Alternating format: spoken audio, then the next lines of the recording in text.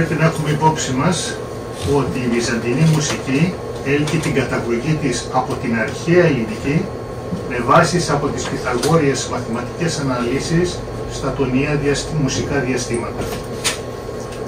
Θα προσπαθήσω όσο μπορώ ε, να σας δώσω κάποια βασικά στοιχεία γιατί έχει πολύ βάθος και πλάτος το θέμα της μουσικής και ειδικά της βυζαντινής μουσικής δεν είναι τόσο απλή όπως η ευρωπαϊκή. Η ευρωπαϊκή στηρίζεται σε μία κλίμακα μόνο, η οποία κλίμακα μάλιστα είναι και γνήσιο υποσύνολο σε αρμονική ακολουθία της βυζαντινής μουσικής. Καταρχάς, η ακρίβεια και η εκτέλεση των τονιαίων διαστημάτων στις μουσικές κλίμακες γενικά ήταν και είναι απαραίτητη για τη σωστή διδασκαλία και εκτέλεση των μουσικών μαθημάτων ή συνθέσεων, ιδιαίτερως δε όσον αφορά τη βυζαντινή μουσική, της οποίας τα τονιαία διαστήματα στις κλίμακές της ποικίλουν μεταξύ τους. Τώρα, ως βυζαντινή μουσική, εκκλησιαστική βυζαντινή μουσική, ιερών μέλος ή ιερά μουσική, εννοείται σήμερα η Βυζαντινή μουσική καθορισμένη από τη Μουσική Επιτροπή του Οικουμενικού Πατριαρχείου του 1881. Ως είναι γνωστό, για τη διδασκαλία της μουσικής και γενικά για κάθε, σε κάθε μουσική δραστηριότητα υπάρχει πάντοτε παρόν και το κατάλληλο μουσικό όργανο, όπως παραδείγματος χάνει το πιάνο στη δυτικοευρωπαϊκή μουσική, το οποίο αναπαράγει και εκτελεί πιστά τα τονιά διαστήματα με τις αντίστοιχες συχνότητες των νοτών με μαθηματική ακρίβεια. Όσον αφορά όμως τη βυζαντινή μουσική, παρότι αυτή χρησιμοποιεί περισσότερες κλίμακες της μίας, όπως τις διατονικές, τις χρωματικές, τις εναρμόνιες, καθώς και τις χρωές, κάποιες ειδικές βοηθητικές κλίμακες, στηρείται όμως του μουσικού οργάνου για να την υποστηρίξει.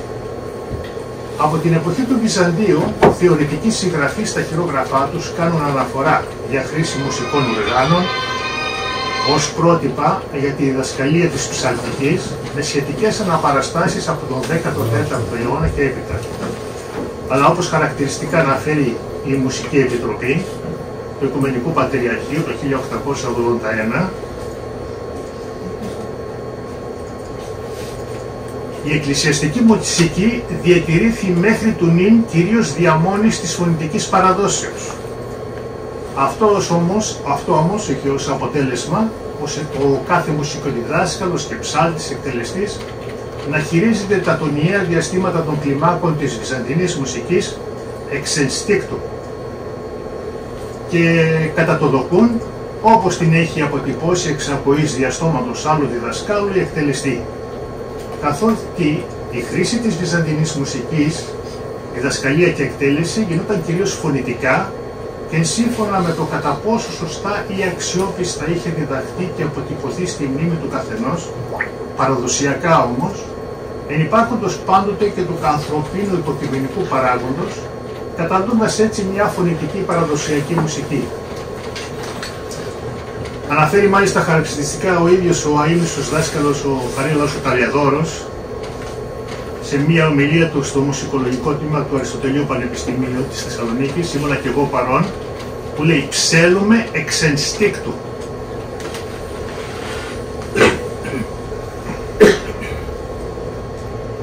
Επί Οικουμενικού Πατριάρχη λοιπόν Ιωακήμ του Τρίτου, το έτος 1881 συστάθηκε η Μουσική Επιτροπή η οποία επινόησε και κατασκεύασε ένα κατάλληλο αερόφωνο πληκτρολόγιο μουσικό όργανο, το καλούμενο ψαλτήριο. Ή αλλιώς Ιωακήμιο ψαλτήριο κοινής ένεχης του Πατριάρχη. Με έξοδο του Οικουμενικού Πατριάρχη τώρα Κωνσταντίνου του Πέμπτου, το 1898, κατασκευάστηκε το Κωνσταντίνιο Ψαλτήριο, αλλά και ο διεθνούς φήμης βυζαντινολόγος, μουσικοδιδάσκαλος και συνθέτης Κωνσταντίνος Ψάχος επιχείρησε και κατασκεύασε το καλούμενο Παναρμόνιο σε, δύο, σε τρεις εκδόσεις.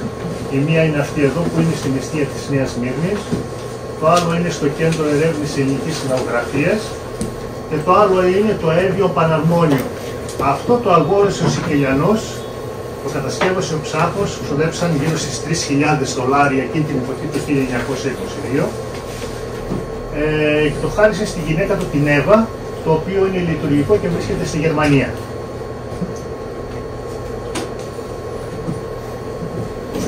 Η Πατριαρχική Μουσική Επιτροπή του 1881.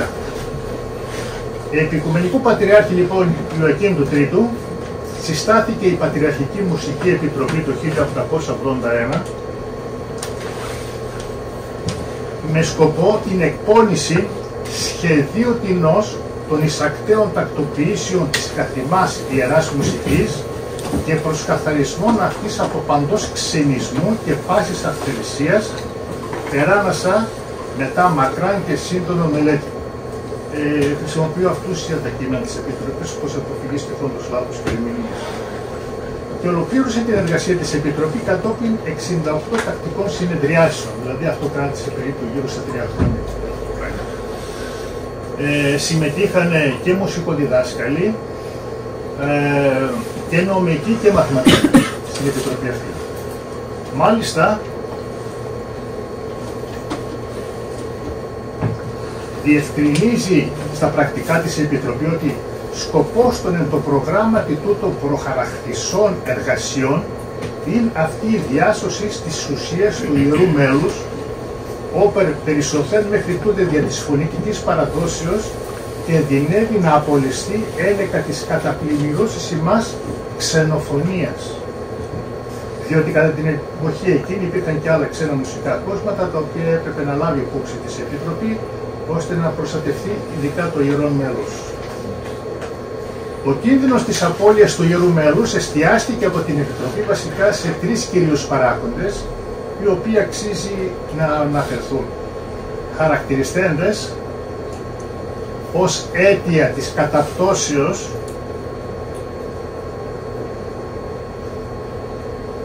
ε, σήμερα διάκειται η μετέρα μουσική. Το πρώτο αίτιο λοιπόν ήταν το από την ετών επιταθέν παροιμή πνεύμα πρόοδου και νεοτερισμού, το οποίο έφτασε μέχρι το υποδείξει ως ανάγκη κοινωνική τη μεταρρύθμιση της μουσικής εκείνης, οι πατέρες ημών ύμνων των θεών. Κάποιοι θεώρησαν δηλαδή ως κοινωνική ανάγκη τη μεταρρύθμιση της βυζαντινής μουσικής, πράγμα το οποίο ήταν ανεπίτρεπτο για την Επιτροπή εκείνη. Ήθελαν να διατηρήσουν την παράδοση όπως την είχαν δει. Το δεύτερο ετοϊό, το μάλλον επιδράσαν επί της εράσιμων μουσικής και κατά την Επιτροπή είχε σχέση με τη βαθμιδόν και λελιθότος υπησελθούσαν και εξαπλωθήσαν επικράτηση της Ευρωπαϊκής εν αυτό το ιδιωτικό ημών βίο. Δεν ήταν ενάντια η Επιτροπή στα ξένα μουσικά κόσματα, αλλά έπρεπε η παραδοσιακή μουσική Βυζαντινή, δηλαδή το γερό μέλος, να παραμένει αυθεντικό και ανεπηρέαστο από αυτά, καθότι μάλιστα δεν διέθετε και τεχνικό μέσο υποστήριξης όπως το πιάνο στη Δυτικοευρωπαϊκή. Και μάλιστα, διότι κατά την Επιτροπή, ο έχουν την ακοή εξοκιωμένη, εξοικειωμένη δηλαδή προς τα ευρωπαϊκά ημιτόνια, εισερχόμενος εν τον ναό, ευρίσκει ξέρει την πατροπαράδοτον αυτού ιδίαν μουσική και αυτόν των δε των μουσικοδιδασκάλων, το ους, το αυτή δηλαδή, φυσικό το λόγο, κακώς εθιζόμενον υπό των ξένων εκείνων φθόγκων, καθιστά αυτής ανέφικτον την εφαρμογή της θεωρίας της εκκλησιαστικής μουσικής περί τα, περί τα διαστήματα. Το τρίτο αίτιο που χαρακτήρισε η Επιτροπή ως κίνδυνο της απώλειας του Ιερού Μέλους αφορούσε την αμέλεια ή την ανικανότητα περί την ακριβή εκτέλεση των ιερών ημών μελών. Και τότε όπως φαίνεται υπήρχαν μουσικοί οι οποίοι για λόγους αμέλειας ή ανικανότητας δεν εκτελούσαν σωστά τη βυζαντινή μουσική. Αναφερόμενη Επιτροπή επίσης στην επίσημη εργασία των τριών μουσικοδιδασκάλων Χρυσάνθου, Γρηγορίου και Χορμοζίου του 1814 ε, αυτή η Επιτροπή κατ' εντολή του Πατριαρχείου προπέφησε καθάριση και διατύπωση της θεωρίας της Βυζαντινής μουσικής και ποια σύμβολα θα ήταν σε χρήση. και αναφέρεται η Επιτροπή επί το έργο των τριών διδασκάλων υπήρξε αληθώς μέγα, αλλά όσο μέγα κι αν υπήρξε, ουδόλως εθεράπευσε την ουσιοδεστέρα των ελλείψεων, εξής έπασε και πάσχει η ανατολική μουσική εν γέννη και ιδίως η μετέρα εκκλησιαστική.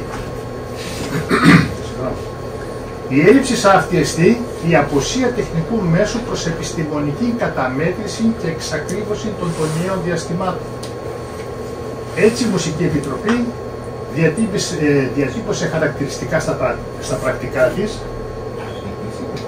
ανεγνώρισε ότι η αντίποτε εργασία επί της εράσιμων μουσικής ή ονδήποτε διδακτικό σύστημα αφιέμενων εις μόνη την δια της, δια της φωνής εκτέλεση, άνευ της βοηθείας οργάνου κοινός, ήθελε να είναι άσκοπος ματαιοπονία, επομένως ενόμισε απαραίτητον του λοιπού την εισαγωγή καταλήλου μουσικού οργάνου εν τη μελέτη και τη διδασκαλία όπως γίνεται και σήμερα βασικά με το πιάνο.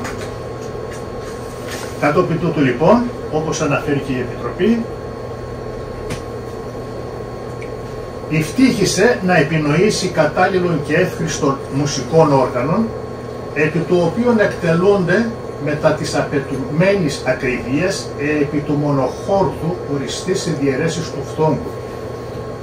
Το μονόχορδο φυσικά ήταν μουσικό όργανο μίας μονοχορδής, εξού και μονόχορδο, όπως κατά βάση του Πυθαγόρα, διότι αυτός το χρησιμοποίησε, κατάλληλο για πειράματα φυσικής σχετικά με ακουστικές μελέτες και θεωρίες, Επί του μοναχόντου λοιπόν το καλούμενο και φθονγκόμετρο για τον καθορισμό των τονιαίων διαστημάτων των τόνων μεταξύ φθόγκων και νοτών, σύμφωνα με τα υπολογιστέντα μήκη των χορδών, η Επιτροπή όρισε το μίζωνα, τον ελάχιστο και τον ελάσσονα τόνο, καθώς και όλες τις μεταβολές επί το οξύ, πιο υψηλά, επί το, επί το βαρύ, πιο χαμηλά.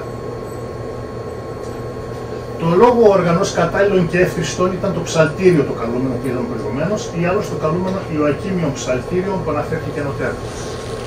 Το ανατέωρο όργανο το χαρακτήρισε μάλιστα δε η Επιτροπή Αυτολεξή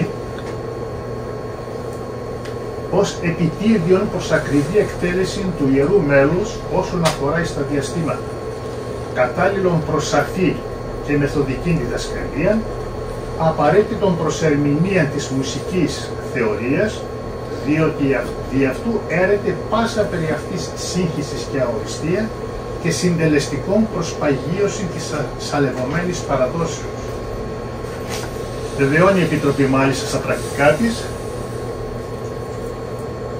την ακρόαση παντοειδών ιερών ασμάτων επί του ψαλτηρίου εκτελεστισωμένων η απόδοση αυτού κατορθούται αληθής και γνησία και το διδακτικό σκοπό συντελεστική. Δηλαδή το εν λόγω όργανο παίζει καθοριστικό ρόλο στη μελέτη και εκμάθηση της βυζαντινής μουσικής και οπότε δηλαδή μέσω του οργάνου γίνεται πλήρης κάλυψης των αναγκών προς τη μάθηση και τη μελέτη. Ο καθορισμός των τονιαίων διαστημάτων όλων των κλιμάκων των γενών, τα οποία ήταν δυνατόν να εκτελούνται πλέον τώρα μέσω των κομβίων, των πλήκτρων του ψαλτηρίου, όπως αναφέρει η Επιτροπή, πραγματοποιήθηκε με επιστημονικής και μαθηματικής ακρίβειας επί του μονοχόρδου του Πυθαγόρα. Κατόπιν υπολογισμών και πειραματικών μελετών και το τρόπος βασανιστέντα βαθμιδών τα τρία γέννη και πάντες η ηχή σχεδίασε ένα διάγραμμα, το καλούμενο μοναδικό διάγραμμα. Όταν λέμε τρία γέννη, μιλάμε το διατονικό, το χρωματικό και το εναρμόνιο, το οποίο το βρίσκουμε στα φυσικά του Αριστοτέλη στον πρώτο τόμο. Υπήρχαν ήδη αυτά. Από εκεί πήραν βάσει των Pythagorean θεωριών και σχεδιάσανε, δομήσανε τη, τη Βυζαντινή μουσική. Ε, κάναν τα πειράματά τους, όπου σε αυτό κατέγραψε τα τελικά οριστικά αποτελέσματα η Επιτροπή των Εργασιών και Επιραμάτων επί του μονοχόρδου που αφορούσαν τα τονιαία διαστήματα όλων των κλιμάκων με τις ιδιαιτερότητες της κάθε μιας κλίμακες, κλίμακας και κατατάσσοντας αυτές τα αντίστοιχα γένεια που σας είπα, διατονικό, χρωματικό και εναρμόνιο. Δυστυχώς εκείνη την εποχή δεν υπήρχαν τα μέσα υπογράφησης και έτσι το μόνο που έμεινε ήταν το ψαλτήριο που εκτελούσαν βασικά και το μοναδικό διάγραμμα.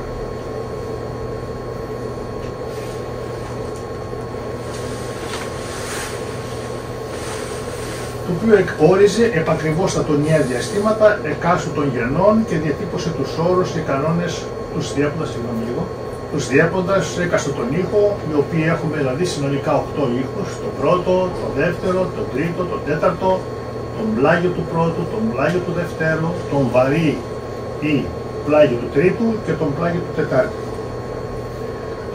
Αξίζει να σημειωθεί επίσης, όπως διατυπώνει η Επιτροπή, ότι το τιούτον διάγραμμα, δηλαδή φανταστείτε τώρα έναν πίνακα, στον οποίο τι κάνανε βασικά; Ε, πήρανε το μονόχορδο του Πιταγόρα, πήραν τις βασικές σχέσεις των, ε, των χορδών και πάνω στις χορδές, τις υπολογισμένες χορδές, τις τοποθετούσαν σε, τις, σε εντατά όργανα, τις τοποθετούσαν και εκτελούσαν εθνικά και ιερά μέλη που αφορούσαν τον ελληνισμό δηλαδή και τι δοξολογίες. Και εφόσον όλοι συμφωνούσαν, Βάσει των υπολογισμών τα είχαν καταγράψει αυτά πλέον στο μοναδικό διάγραμμα και αυτό σαν ντοκουμέντο, ε, σαν ντοκουμέντο έμεινε. Και βάσει αυτών του ντοκουμέντου έγινε όλη αυτή η ανάλυση, η μαθηματική ανάλυση. Έπρεπε να υπολογιστούν τα τονία διαστήματα, οι κλίμακες, να βγουν οι συχνότητες και κατασκευάσαν το ψαλτήριο.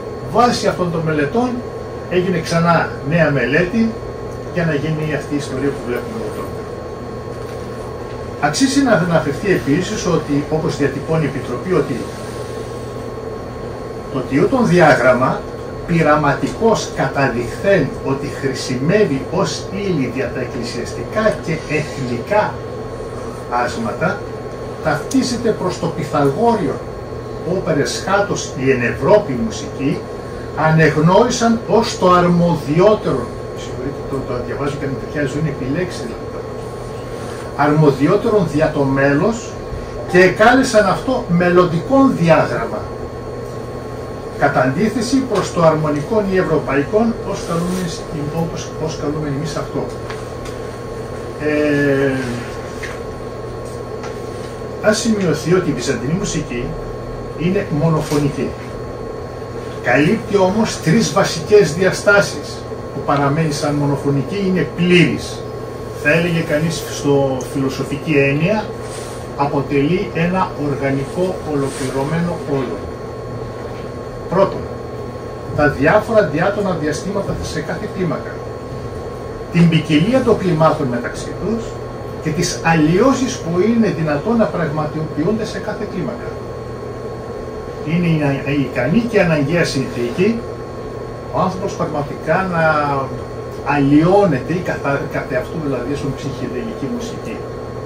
Ενώ η δυτικοευρωπαϊκή χρησιμοποιεί μία κλίμακα, και αυτή πάλι από τον Αριστόξενο, τρίτης γενιάς μαθητής του Πυθαγόρα, την ισοσυγκερασμένη κλίμακα που βάζω στο πιάνο, υποστηριζόμενη από το πιάνο και η οποία υπάρχει και στη βυζαντινή μουσική, ε, στο βαρύ εναρμόνιο ήχο, όπως και στον εναρμόνιο του τρίτου ήχου.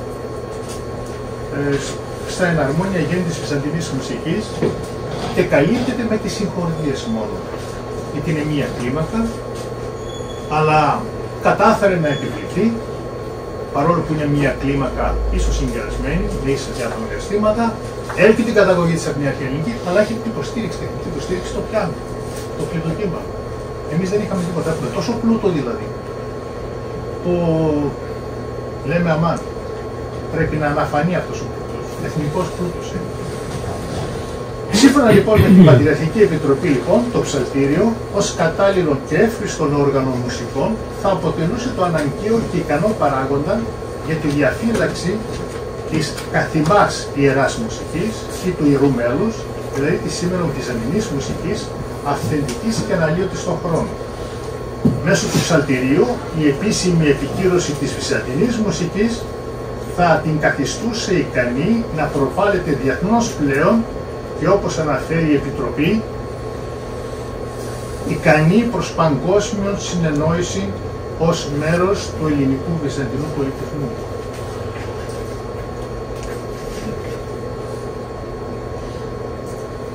Μουσικό όργανο synthesizer, αυτό το που έχουμε εδώ, κανόνιο, ονομάστηκε κανόνιο βυζαντινής μουσικής σύμφωνα με το πρωτότυπο του ψαλτήριου της Μουσικής Επιτροπής του Οικουμενικού Πατριαρχείου της 1880.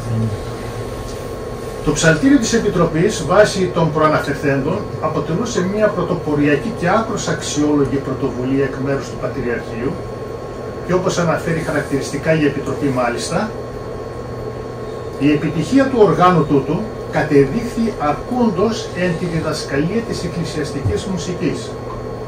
Και παρότι λοιπόν όπως αποδείχθηκε και στην πράξη η αξία του, εν η κατασκευή του ήταν πολυσύνθετη, ογκώδης και ο χειρισμός του δύσκολος.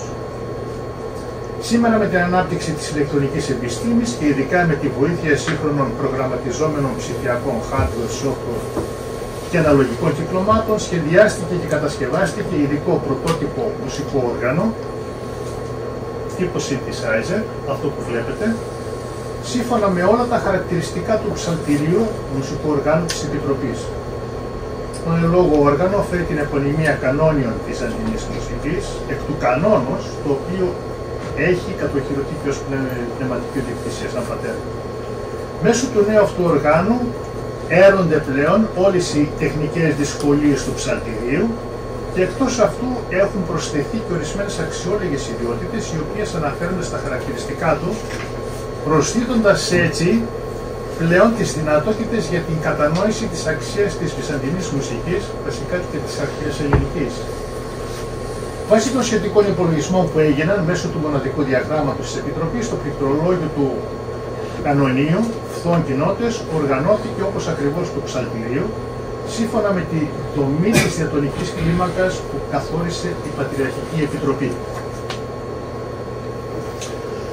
Εδώ τώρα βλέπουμε αυτή είναι η βασική διατονική κλίμακα.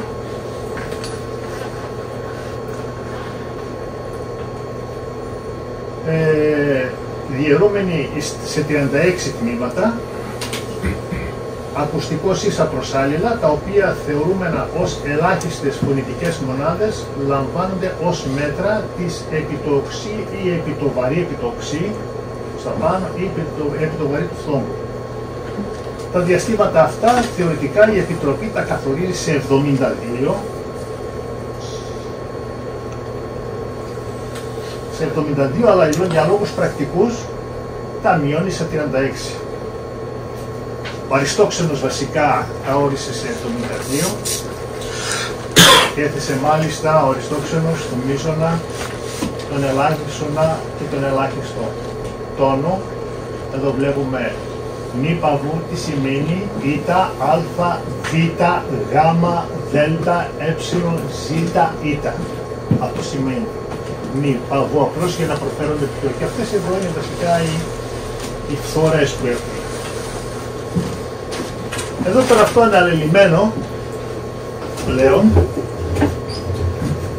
έχουμε μία διαπασόν όπως την έλεγε και ο Αριστοτέλης την κλίμακα 8 φθόγκους, φθόντι λέγονταν τότε, και λέγονταν φθόντι, ε, ευρωπαϊκά νότε, μία διαπασόν που αρχίζει από το νη, μη παγκούγαδη, πάει μετά στο δι και μετά άλλη δεύτερη διαπασόν, αυτές οι ονομασίες είναι από τους ε, αριστοτελικούς, οξία, μέση, υπάτη, μέση, νύτη, και έχουμε μία δις διαπασόν κλίμακα, εδώ έχουμε τα ενδιάμεσα ηχομόρια, όπου μπορούμε να πατήσουμε δηλαδή πλήκτρα για να ακούσουμε και να κάνουμε και οι θέσεις και διέσεις ε, όπως θέλει ο καθένας. Έχουμε λοιπόν 15 πλήκτρα, 15 φθόγκους και ενδιάμεσα πλήκτρα των ηχομορίων 58, σύνολο 73 πλήκτρα. Τόσα ήταν και τόσο ήταν και η αυλή, ο αυλός, μεξικά τα οποία χρησιμοποιούσε και στο ψαλτήριο Πατριαρχική Επιτροπή. Γιατί χρησιμοποιεί διαπασόν, διότι μέσα σε αυτή την κλίμακα, σε αυτό το εύρος, κυμαίνεται και η ανθρώπινη φωνή. Δηλαδή όσα μουσικά κείμενα και έχουν γραφτεί, έχουν γραφτεί σύμφωνα με τις, το ανθρώπινο λαρίνγκι, το οποίο καλύπτει ένα φάσμα δύο οκτάβων που λέμε. Εδώ λοιπόν έχουμε ξανά, αν βάλουμε εδώ τοποθετήσουμε τα πλήκτρα, όπως ήταν και στο ψαλτήριο, έτσι ακριβώς, έχουμε λοιπόν τη διαπασόν, την αριστοτελική διαπασόν κλίμακα, 8 φθόγκους, 36 μικροδιαστήματα, 37 πλήκτρα. Τώρα, το πληκτρολόγιο του ψαλτηρίου, του οργάνου που κατασκεύασε η Πατριαρχική Επιτροπή ήταν αυτό εδώ. Και λεγόταν κανόνας. Όπου εδώ βλέπουμε τα, τους βασικούς φθόγκους, δύο διαπασών, άρα μία δις διαπασών, με τα ενδιάμεσα πλήκτρα των ηχομορίων να εκτελούνται. Οπότε έχουμε συνολικά 33 πλήκτρα, 33 ήταν και η πλήκτρα. Τι έγινε τώρα; Με βάση το μοναδικό διάγραμμα της Επιτροπής ως προς τις δομές των κλιμάκων, γιατί μιλάμε τώρα, έχουμε τρία γέννη κλιμάκων, όπως σας ανέφερα προηγουμένως, το διατομικό, το χρωματικό και το εναρμόνιο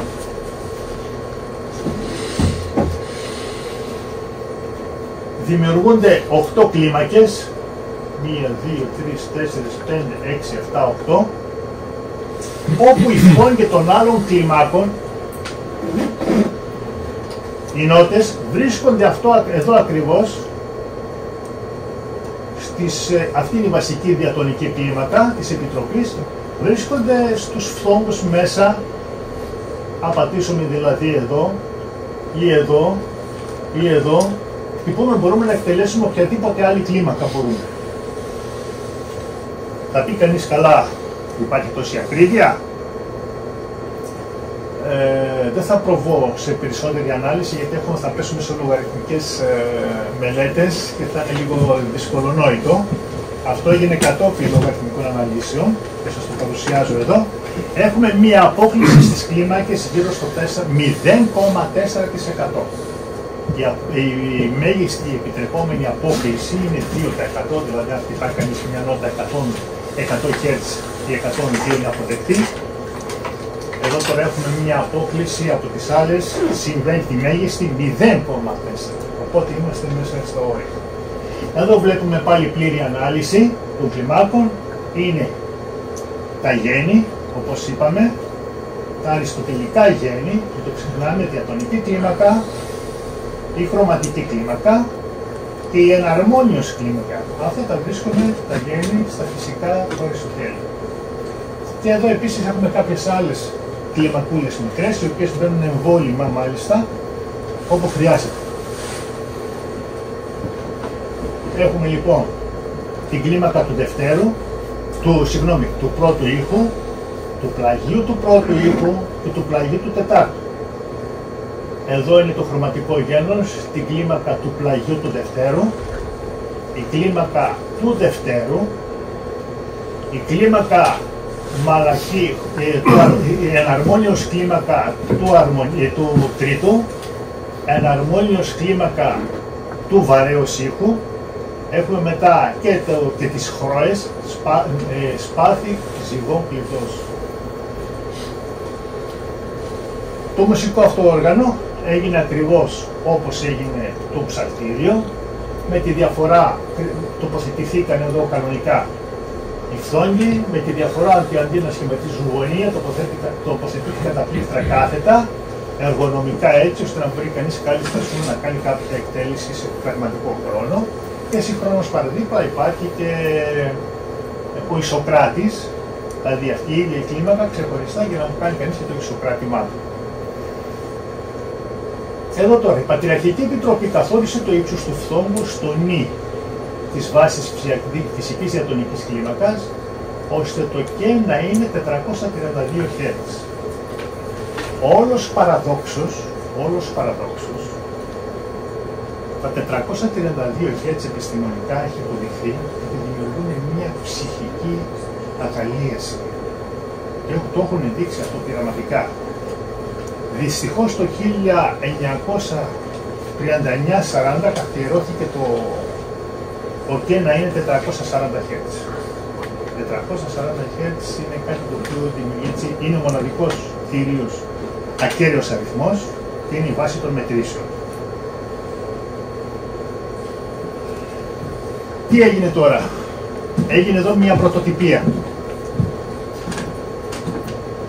Καθαρά όπως το ψαλτήριο, αλλά δικιά μου πρωτοτυπία αξιωματικά τοποθέτησα τον ΚΕ από τα 432 σε 440 Hz.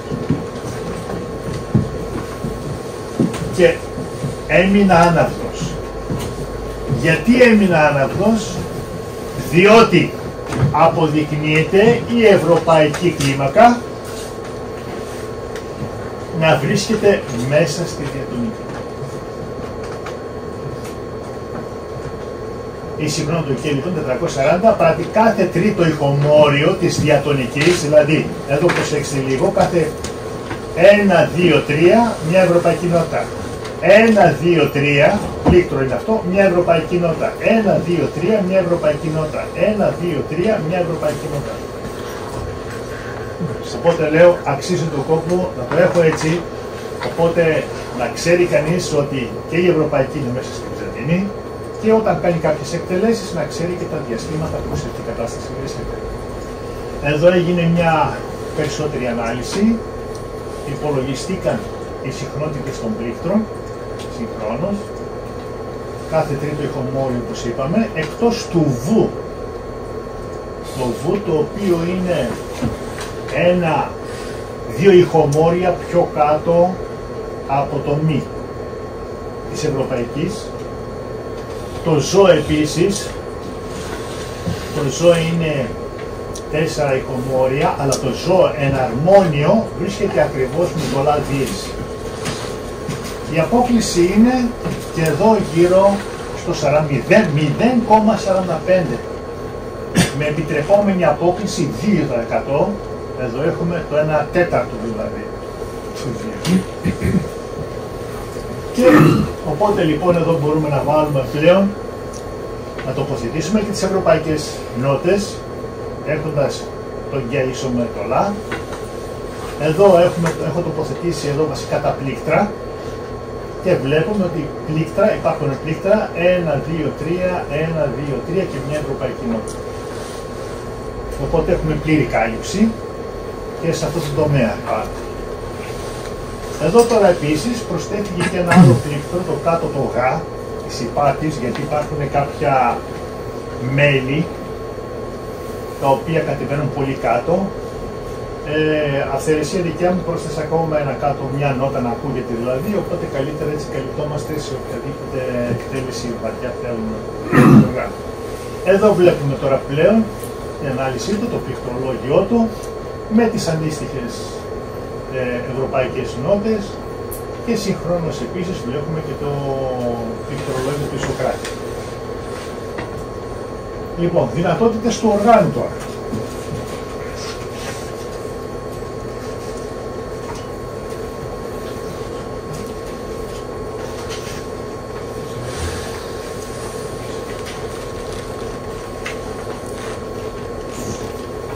Λοιπόν, το, το ανωτέρω όργανο, την ώρα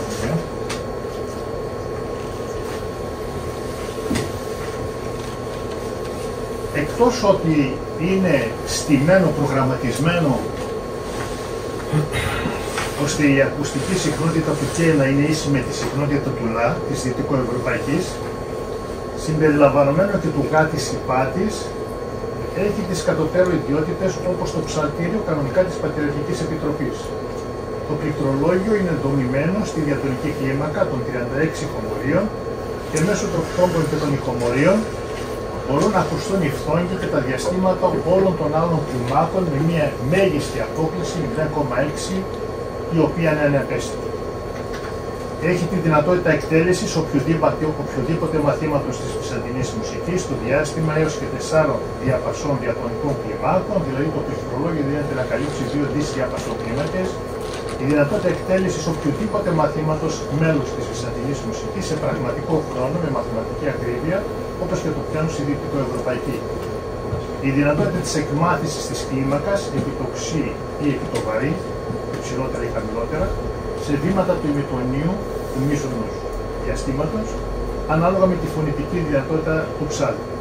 Η δυνατότητα των έλξεων, διεσύγχυση, δηλαδή σε βήματα μικρότερου του ημιτονίου της Ευρωπαϊκή, με πιο αναλυτικό δηλαδή, η δυνατότητα της αλλαγής μιας κλίμακας κατά των νότα και κατά, και κατά επίσης. Η δυνατότητα της εκτέλεσης ενός Βυζαντινού μέλου μαθήματο να πραγματοποιείται με τη συνοδεία έως και δύο ισοκρατών, η ρύθμιση της χρονικής αγωγής, δηλαδή να σου δίνει και, τη, και το ρυθμό το οποίο υπήρχε αυτός στο ψαλτήριο, και εκτέλεση των ατών τη Ευρωπαϊκή Μεσοτήσου του πιάνου.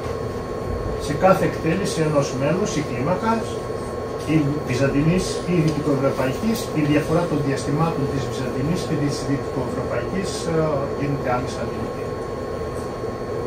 Έτσι λοιπόν, το όργανο αυτό, όπως και το ψαλτήριο της Πατριωτική Επιτροπής, γενικά μπορεί να χρησιμεύσει και τρόπος όπως στη μελέτη, τη διδασκαλία και την εκτέλεση των διαστημάτων και μαθημάτων της Βυζαντινής μουσικής, αλλά και της Δυτικοευρωπαϊκής άμεσα, χωρίς άλλες διαδικασίες ρυθμίσεις από τη στιγμή που τίθεται σε λειτουργία. Στη σύνθεση μελών, που να συμπεριλαμβάνουν επίσης κλίμακε τη Εθνική και δυτικοευρωπαϊκή μουσική, για τη δημιουργία νέων αρχισμάτων στη συνοδεία φορτία, η ορχήστρα με τη συνύπαρξη και άλλων μουσικών οργάνων και την εκτέλεση τόσο βυζαντινών μελών όσο και ευρωπαϊκών ή συγχρόνων και των δύο. Εδώ λίγο απλώς θα σας δείξω τα βασικά, θα ήθελα να σας δείξω μια υπέρβαση θα κάνω τώρα.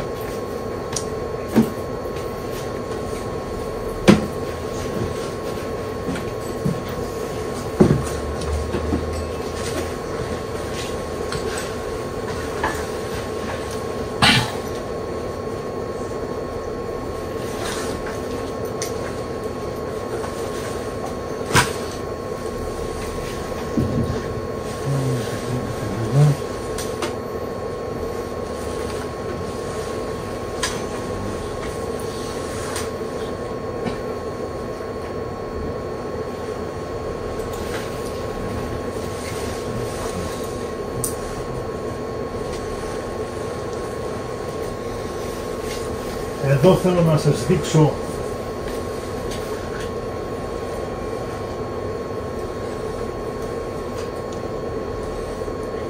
η οργάνωση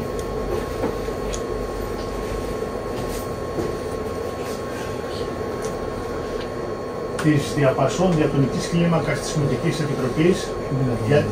Α,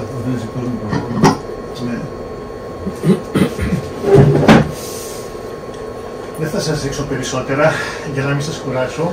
Η Επιτροπή για τη δόμηση της διατονικής κλίμακας χρησιμοποίησε κατά βάση τις Πυθαγόριους λόγους των διαστημάτων, αλλά και από τους μετέπειτα Πυθαγόριους, όπως τον Αρχίτα, Αριστόξενο, καθώς και τον δίδυμο μουσικό, όπως φαίνεται στον πίνακα.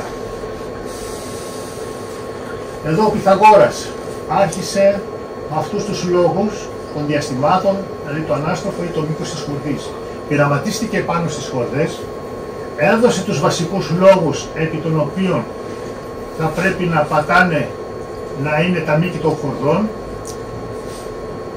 Πέραν μετά οι άλλοι, οι υπόλοιποι, οι μετέπειτα μαθητές του, προχώρησαν, φτάσαμε και στο Πυθαγόριο ημιτόνιο, ε, ε, ε, στα λίματα και στο Πυθαγόριο καλούμενο κόμμα. Από εδώ λοιπόν άρχισε, άρχισε η Μουσική Επιτροπή του Πατριαρχείου για να μπορέσει να καταλήξει σε αυτές τις κλίμακες που σχεδίασε και κατασκεύασε το ψαλτήριο.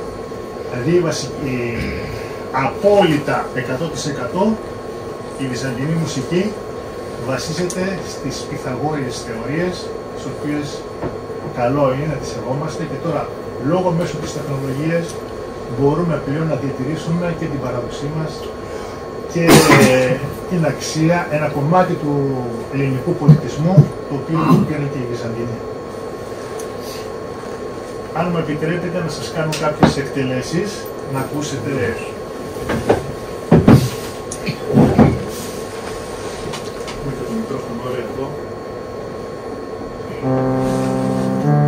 Ακούτε; Ναι. Θα πάρω από την υμνογραφία μας. Τα απλά τα κεκαργαρία γνωστά κομμάτια. Τα οποία μπορώ να σας τα δείξω. Να βλέπετε και όλα.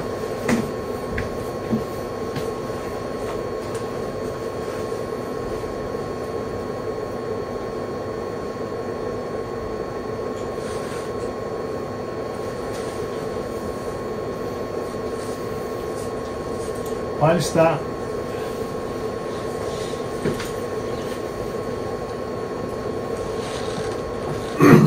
Έχω κάνει και το ίδιο το όργανο. Το έχω κάνει εφαρμογή σε κινητά. Όποιος θέλει να εντρυφεί στη Βυζαντινή μουσική, να ασχοληθεί με τη Βυζαντινή μουσική, υπάρχει μια εφαρμογή στο Play Store, στα Android, μπορεί να την κατεβάσει και να μελετήσει εκεί τις Βυζαντινές, τα Βυζαντινά διαστήματα, ονόμων κλιμάκων. Και τώρα πλέον, εδώ έχουμε τον πρώτο ήχο, ο πρώτος ήχος από το Κεκραγάριο του Ιωάννου, πολύ γνωστός, το ξέρουμε. Κύριε Κέκραξα, πώς Το κύριε Κέκραξα και το Κεκραγάριο, ναι. Τα Σάββατα στους Εσπερινούς.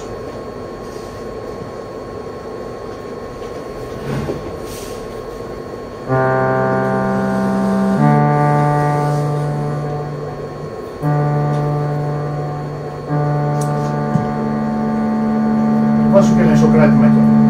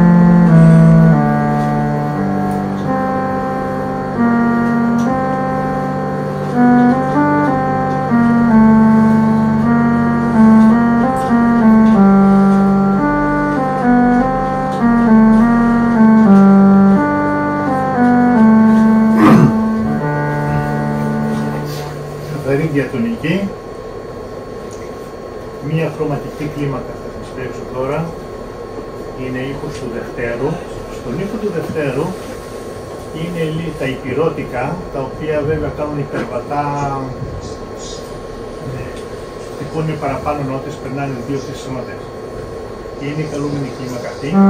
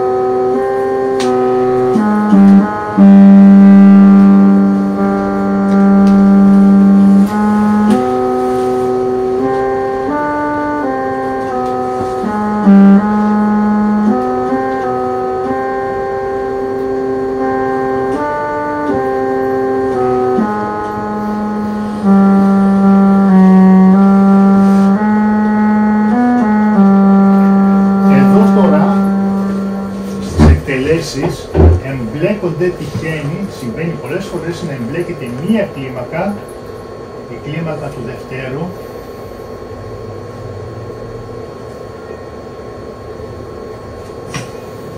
η κλίμακα του Δευτέρου, με μία κλίμακα σκληρής χρωματικής, βλέπετε ότι σε εκτελέσεις ακόμα και στα αργά μέλη, στα αξιονιστή, έχουμε εμπλοκή ε, και άλλων κλιμάκων και μετά αυτή η κλίμακα και μια, μετά αυτή η κλίμακα πάλι ελευθερώνεται εδώ και καταλήγει πάλι σε δεύτερο. Αρχίζει από δεύτερο, πάει σε πλάγιο του δεύτερου, σκληρή χρωματική κλίμακα και καταλήγει πάλι σε δεύτερο. Εδώ έχουμε τώρα το εναρμόνιο, το οποίο το βρίσκουμε στην ευρωπαϊκή μουσική συμπεριλαμβάνεται απλώς χτυπάμε νότες που είναι, συμβαδίζουμε τη σύγκριση που είναι με την ευρωπαϊκή.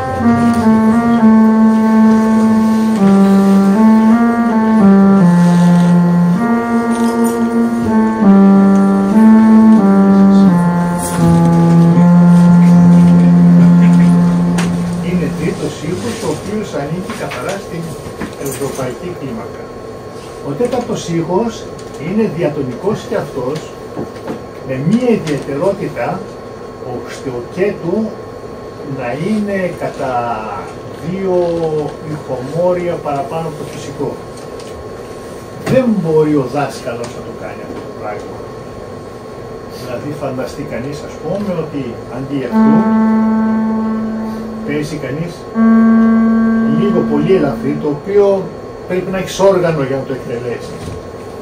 Θα τον ακούσουμε τον τέταρτο ήχο. Είναι πάρα πολύ απλός.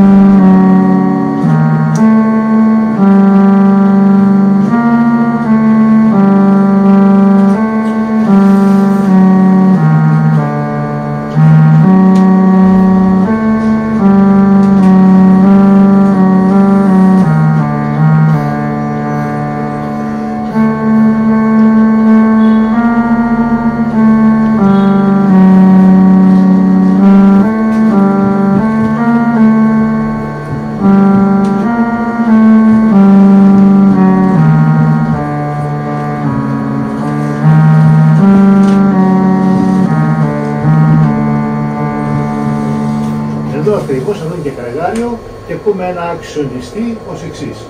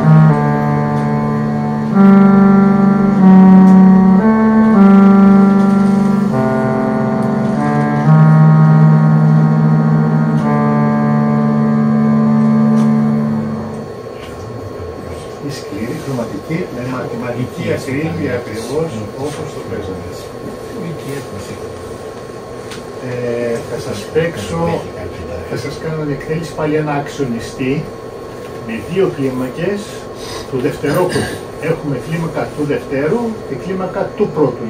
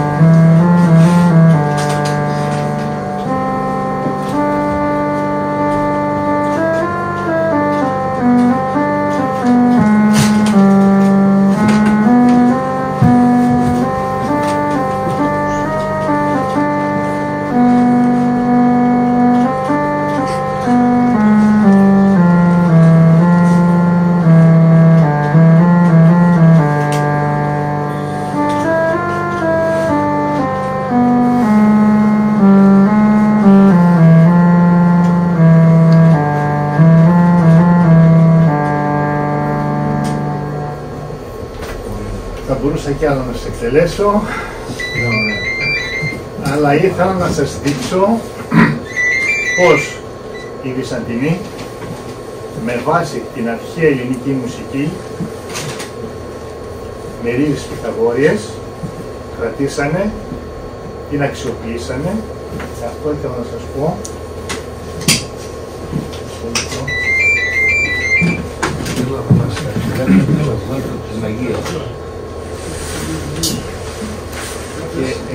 εν κατακλείδη σαν συμπέρασμα ήθελα δύο λέξεις και να τελειώνω.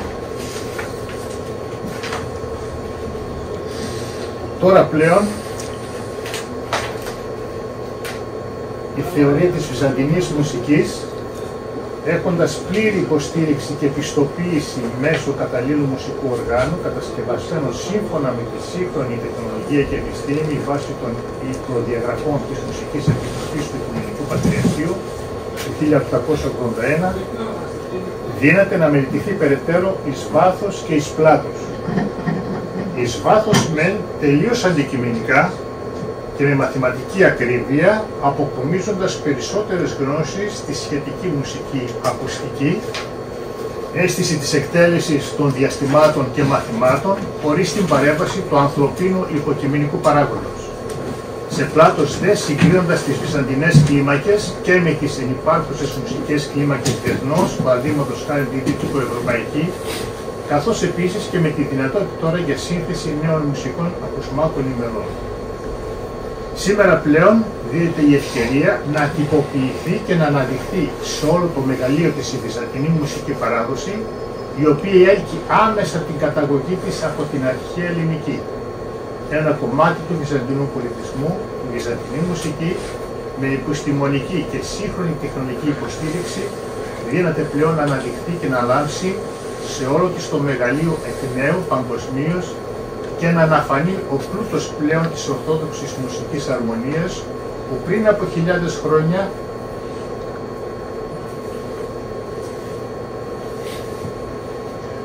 ανακάλυψαν οι αρχαίοι μόν πρόγονοι, απογείωσαν οι Βυζαντινοί και ανέδειξε η μουσική πατριαρχική επιτοχή του 1881 λαμβάνοντας έτσι και την εμπρέπουσα θέση στο παγκόσμιο πολιτιστικό και μουσικό στερέωμα.